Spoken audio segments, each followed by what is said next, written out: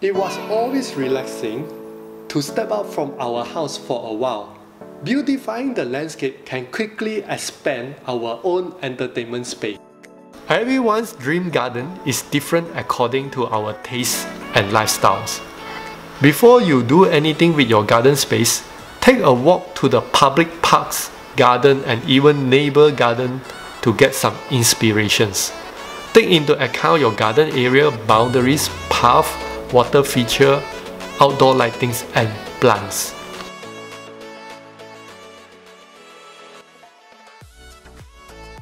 When it comes to the plants you use in your landscaping, go for perennial plants if you are looking to cut down on costs.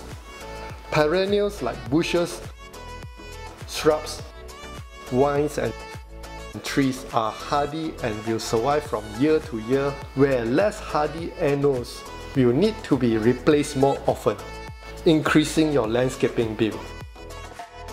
That's one minute from Daily Property.